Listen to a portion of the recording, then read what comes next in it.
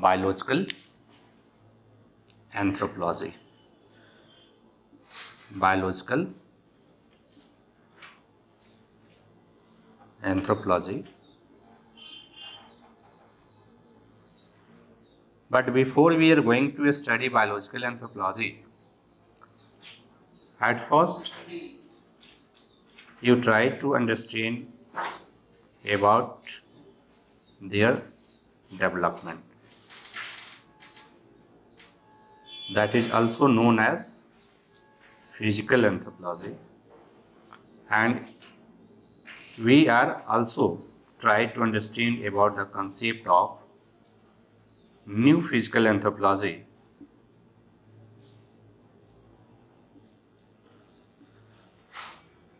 In anthropology. Right? Because one time upsc has asked question write short notes on new physical anthropology. And today it is known as a biological anthropology.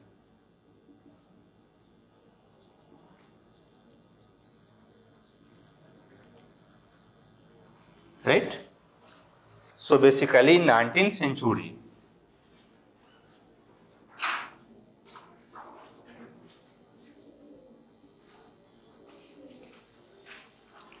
it is known as a physical anthropology. But this name is also popular in our contemporary society. Many students many teachers are a saying it is a physical anthropology. But uh, generally that is known as a physical anthropology in 19th century and a new physical anthropology that term is coined by L. Was one in his famous work New Physical Anthropology.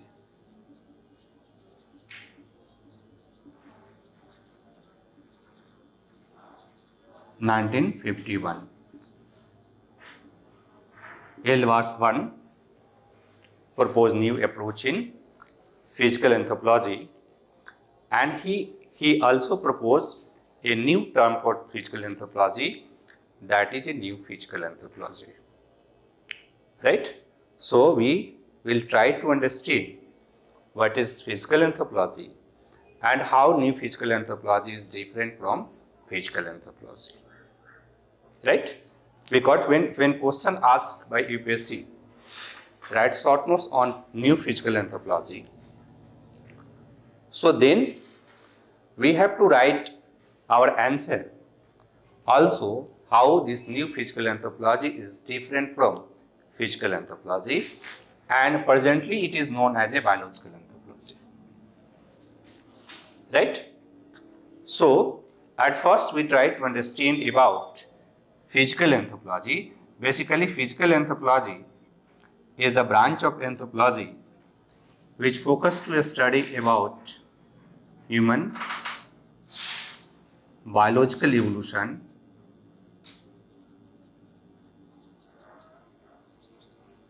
first aspect of physical anthropology is human biological evolution and second aspect is human biological variation. Human biological variation. This is the two major aspect of physical anthropology and that is also major aspect of biological anthropology. We still study human biological evolution and biological variation in biological anthropology. So basic differences is that basically in 19th century. Physical anthropologists study human biological variation and biological evolution through anthropometric anthropometric measurement. Or anthropo anthroposcopic observation. Here they are doing two important things. First important thing is anthropometric measurement. So, in 19th century basically, they were studying human evolution on the basis of fossils records. Right? Because there was little development about human genetics. Even Mendel has proposed his theory of inheritance in 1866. But scientists of 19th century they were not accepted theory of inheritance which proposed by Mendel. So we have little knowledge about human genetics. So basically, physical anthropologists in 19th century, basically they tried to understand evolution on the basis of fossils record. Right? So they are excavating fossils. They were excavating fossils because we already know that there was discovery of Neanderthal in 1856. There was discovery of Homo erectus in 1891. So those fossils record they were getting, discovering, they were trying to measure their cranial capacity on the basis of craniometry or anthropometric measurement method. They tried to measure a skeleton which they were found. They were found a skeleton regarding Neanderthal, a skeleton regarding Homo erectus, and they tried to measure that. Right? Darwin was also done some important study on fossils record, and through the comparative study of fossils record of ape and human, they tried to understand human evolution.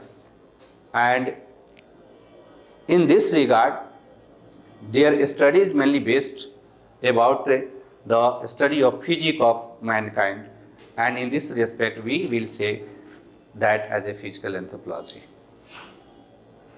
Right second for human biological variation here they were also studying human biological variation on the basis of anthropometric measurement or anthroposcopic observation. There is two method, anthropometric measurement and anthroposcopic observation. Right? For the study of human biological variation, they were mainly study about race, racial classification of human population.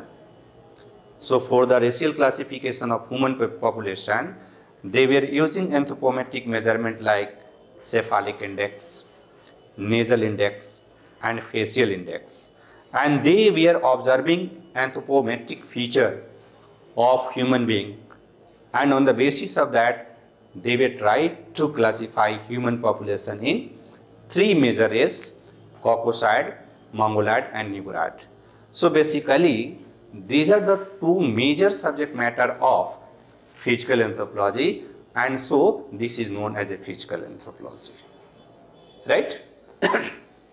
but in 20th century, there was development of human genetics.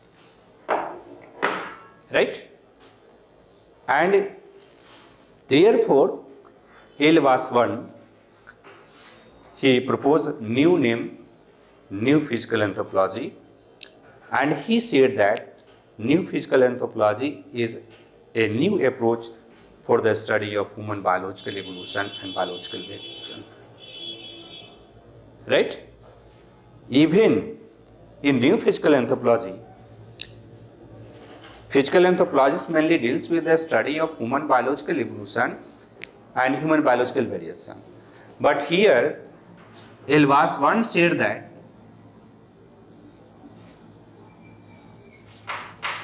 they try to study human biological evolution and biological variation through new approaches, and that new approaches is based on interdisciplinary approach. Interdisciplinary approach. Right? Means he said that we can understand human evolution on the basis of fossils record. but now we are capable to analyze fossils record on the basis of genetic method. On the basis of protein synthesis. On the basis of method developed by molecular biology. By molecular dating. They also utilize method developed by ecologists, method developed in chemistry, biochemistry, method utilized about computer science, statistics. In this period, some primatologists went to study non-human primate, their behavior through fieldwork. So here new physical anthropology is new. Basically, it is new on the basis of their new method, new approaches. right? Because there was development of human genetics, population genetics, biochemistry, molecular biology, protein synthesis, ecology, environment, biochemistry, computer science, statistics. So this multidisciplinary method and approach are utilized for the understanding of human evolution.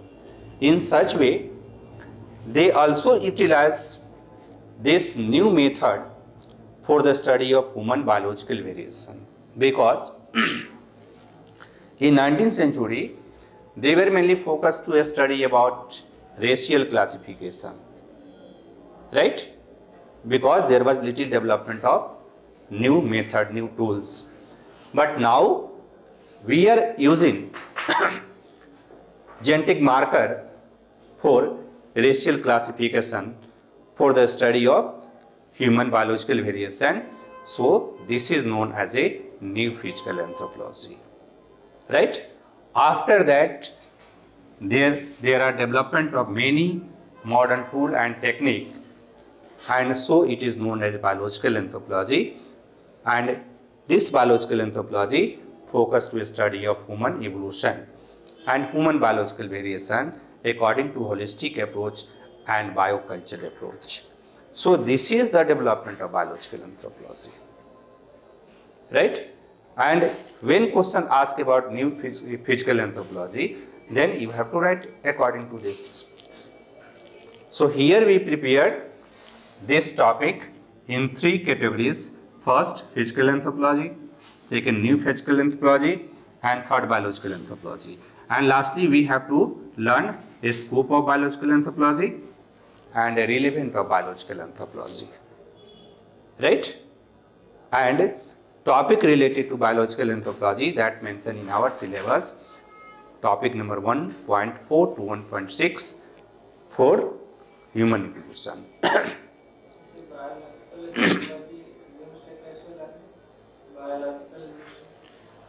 there is development of many modern tool technique right?